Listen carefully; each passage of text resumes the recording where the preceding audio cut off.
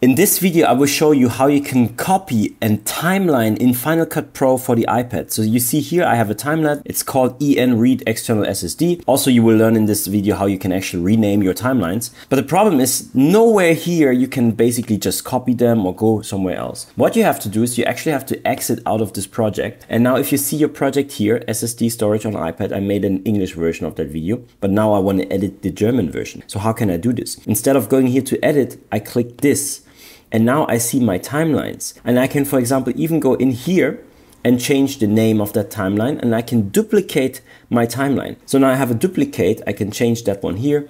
So I this will be my German version, German version of that video and I say done.